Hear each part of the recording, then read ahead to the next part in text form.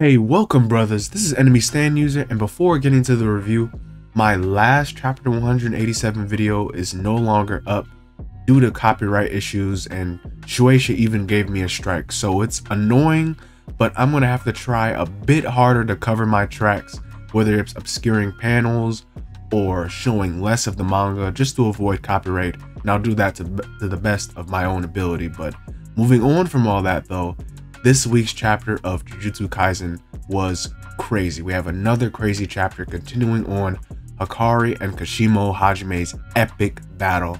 And things in this chapter take very brutal turns. But Hakari is still high strung. He's still the Hakari we know. His fever is high and it's still rolling high. It really impresses me just how incredibly tooth and nail this clash is going. But even more so, just the level of sorcerer Hajime is, it's just and just he's just like Hakari, he doesn't care because Shimo won't let up, and it he just really keeps the pressure on without any sort of hesitation. This fight has just been so back and forth, it's been crazy, but we've never really seen Kashimo really get shaken up, and this chapter really shows that Kashimo is a lot more trouble than some of us would give him credit for. But let's dive into this amazing chapter with chapter 188, Tokyo number 2 colony, part 7. Okay, we kick things off in a banger as we see Hakari's main verse or sort of lyrics to his made up song, If You Stand Over There. I think it's called something else in the official, but it seems it seems like a pretty cool love song, I assume having to do with this love manga. And if you pay attention to the lyrics, they talk about how they exaggerate themselves in life to the very end even when they make mistakes. So who knows if this is kind of like a reflection of Hakari in some way or Hakari's abilities. I don't know. It's pretty interesting that Gege would put this here. It's mad random too, but it's just cool for us to see like what Hakari's jamming out to. The next panel we see, we are put back into the battle with Hakari and Hajime running in epic fashion and Hakari is fresh off of his immortality state and it really shows as he's revving up and he punches a whole shipping container at Kashimo like nothing. And Kashimo actually punches it right back at him. Then in JoJo's style, they both decide to flex and keep punching it back at each other till the container is flattened on some road roller BS. But Hakari revs up a second time. However, instead of continuing this back and forth, Kashimo decides to get the jump on Hakari grabs and rips open the metal container door and scrapes it brutally across Hakari's face.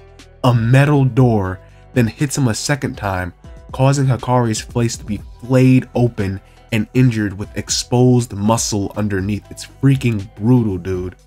At this point in time, Kashimo exclaims that cursed energy comes from the stomach, but reverse curse originates from the head.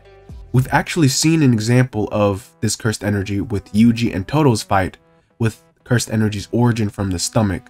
And recently we've seen Yuta use reverse curse from his head to output positive cursed energy directly from mouth to mouth. That was the closest instance from the brain. However, Kashimo points out that no matter how powerful the reverse curse technique is, a single blow to the head can kill it no matter what. So in an extremely dark and scary moment, Kashimo builds up his charge and is about to kill Hakari by making his head implode from inside build up. And this was an extremely scary moment. Even Hakari realizes that this is a pretty bleak in this instance. However, Hakari steadies himself and uses reverse curse to heal his brain while it's being damaged and shoots out excess cursed energy buildup from his nose like he's sneezing. Now that is damn impressive. That level of reverse curse is freaking crazy. Even Hakari tips his hat to Kashimo's efforts and taunts him. But he's now he starts his onslaught as Hakari's time is starting to run out and his hits are getting even faster now as he's trying to take out Kashimo. Hakari thinks to himself that Kashimo's sure hit lightning probably has some sort of limit or some like cooldown or requirement. So he decides to keep up the pressure and throw himself out there, quote, to sacrifice my immortal body to take him out, end quote. And Hakari is really putting hands on Kashimo. However, Kashimo actually has a hidden card yet to be revealed. A couple hundred meters away, Kashimo placed his staff on the ground and actually placed a charge on the staff. So Hakari is not the only charged target. Kashimo used a phenomenon called cloud to ground lightning. That's what it's referenced to in nature. And check out my chapter 184 review where I actually discussed that theory on Hajime's cursed energy and how it worked like cloud to ground lightning. It's like Kashimo is the cloud and his staff is the ground or vice versa or whatever his target is. So anything in between that with a charge is going to be auto hit. It's sure hit. And this is indeed a direct hit as it critically damaged Hakari's guts and his midsection, literally blowing a chunk out of him. And at the same time, immortality is gone. It's over. Reverse curse is over. However, of course, Hakari being Hakari, he lives for the fever, and as long as he breathes, he gambles even his life as he uses a last ditch domain expansion a third time to end the chapter off in an epic cliffhanger. The chapter endnote reads, Bet even if you die, that's the gambler's way. And wow, Hakari is definitely that way. Now, this is truly idle death gamble. And if you remember from last chapter, Kashimo said if he lasts another round surviving immortality and Hakari expands his domain expansion again, Kashimo believes he can definitely win. So this time around, Hakari will have no probability mode. He won't enter that and might either return to normal mode or go into time reduction mode, Jitan, which could result in faster spins or something like that as we've never saw it in action. Either way, Hakari would literally enter his domain injured and vulnerable as he could be killed this round. He's vulnerable.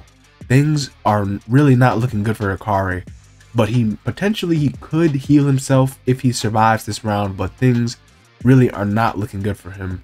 And I personally feel like Kashimo would fully jump on this opportunity to slay Hakari this round. So we'll just have to see if Hakari's luck runs out or not, as this is getting really scary for him. Another really cool thing I liked about this chapter was Kashimo's prowess as a fighter. Kashimo is seriously good, and his hits are definitely on par with Hakari, even without any sort of cursed energy buff. He straight up ripped open Hakari's face and almost blew up his head with next to no conditions almost instantly. Uh, Kashimo's lightning power is straight up godlike as it can even kill Hakari's unkillable mode if Hakari is not careful. The reference to cloud to ground lightning too is really cool of how it referenced nature like that and it just adds the ability or for how it's sure hit because when lightning hits the ground it arcs from the ground's negative charge and the cloud's positive charge. So when you're in between that arc, there's no question that you will be hit. So yeah, Kashimo is a real one and his power just straight up smites people. Like he didn't even reveal his curse technique yet.